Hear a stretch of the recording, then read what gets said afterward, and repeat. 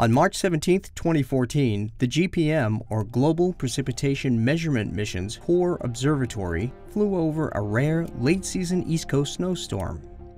This was also one of the first major snowstorms observed by GPM shortly after it was launched on February 27, 2014. Shades of green to red are liquid precipitation, cyan to purple are frozen precipitation. GPM is the first NASA satellite designed to measure the full range of light rain, heavy rain, and falling snow. Off the coasts of the Carolinas, the tops of the clouds are icy, reaching about 10 kilometers up into the atmosphere. Down at the surface, heavy rains fall in the Atlantic Ocean.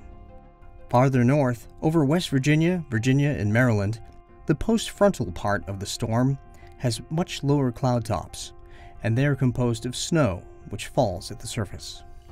GPM's broader spectrum of precipitation data gives scientists a better estimate of water content and a new perspective on winter storms, particularly in the middle and high latitudes.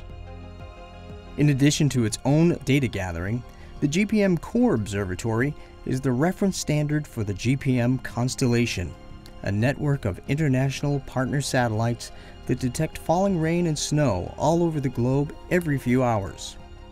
Here, the partner satellites crisscross the globe and observe the March 17th snowstorm.